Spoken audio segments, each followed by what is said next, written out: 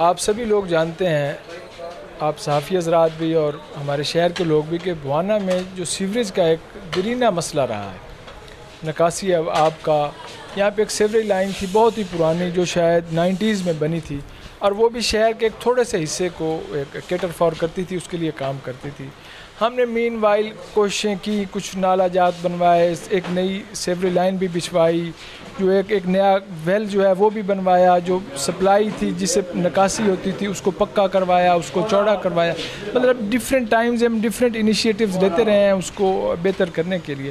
لیکن الٹیمیٹلی سبھی لوگوں نے، شہر کے لوگوں نے بھی، آپ صحافی حضرات نے بھی، ہمارے جو محکمہ کے لوگ انہوں نے بھی ہمیں گائیڈ کیا کہ جب تک ایک کمپریہنسو ایک سیوریج اسکیم آپ یہاں پہ نہیں لے کے آتے، تو یہ مسئلہ حل نہیں ہو سکتا۔ کیونکہ ایک جو میجر چنک تھا، جو ایک میجر ایریا تھا شہر کا، اس میں تو سرے سے نظام موجود ہی نہیں ہے نا۔ تو جب تک اس کو ہم ٹیک اپ نہیں کریں گے تو یہ چیزیں کیسے درست ہو سکتی تھی؟ بہرحال میں ایک عرصہ سے اس کے اوپر کام کر رہا تھا۔ میں نے کو آج سے تین سال پہلے اس اسکیم کا ایک کمپریہنسو سروے کروایا تھا۔ اس کی اسٹڈی کروائی، اس کے نقشہ جات بنوائے۔ لیکن بدقسمتی سے وہ لیٹ ہوتا چلا آیا۔ بر الحمد للہ میں اللہ تعالیٰ کی کا شکر گزار ہوں اور جو پنجاب حکومت جناب چیف منسٹر، ان کا مشکور ہوں کہ انہوں نے کائنڈنیس کی شفقت فرمائی ہمارے بھوانا کے شہر کے اوپر، ہمارے بھوانا شہر کے لوگوں کے لیے کہ انہوں نے یہ ایک ایک بڑی ایک اسکیم جو ہے وہ متعارف کروائی ہے انٹروڈیوس کروائی ہے۔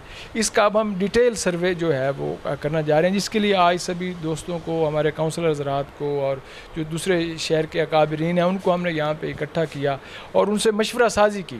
ان سے یہ ڈسکس کیا کہ یہ اسکیم ہم آپ کے شہر کے لیے لے کے آ رہے ہیں اور اس کے لیے ہمیں آپ کی پوری ایک ان پٹ اور آپ کی ایک صحت مند جو ہے نا وہ چاہیے، آپ کا مشورہ چاہیے۔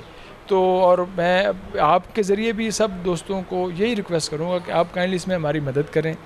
ہمیں اس کا جو پراپر سروے ہے، اس کرنے میں ہمیں گائیڈ کریں۔ ہاں اس کے بعد ایک مرحلہ ہوگا کام کے ہونے کا کہ جو کام کی کوالٹی ہے۔ اس کے اوپر مجھے پوری رہنمائی چاہیے ہوگی آپ دوستوں کی طرف سے، شہر کے لوگوں کی طرف سے، کہ اس میں کائنڈلی کہ مطلب اگر کوئی ناقص کام کر رہا ہے کہیں پہ، تو کائنڈلی مجھے بتائیں۔ میرے علم میں لے کے آئیں، ہمارے چیئرمین صاحب ہیں، ان کے علم میں لے کے آئیں۔ اپنے کونسل حضرات کے علم میں لے کے آئیں۔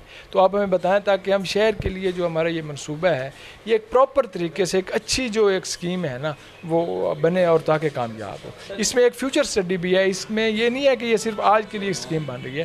اس میں اگلے تیس سال کی ایک ہم نے اس کو فیوچر پلان بھی رکھا ہے کہ یہ جو اسکیم آج ہم ڈالیں گے، یہ جو کریں گے۔ تو یہ اگلے تیس سال تک یہ اسکیم جو ہے، وہ کارآمد ہوگی۔ سر، اس کا باقاعدہ جو آغاز ہے، وہ بھی بتا دیں میرے خیال میں ایک ٹینڈرنگ کا پروسیس ہوتا ہے، ایک ڈیڑھ ماہ، کیوں شاہ جی کتنا ٹائم لگے گا؟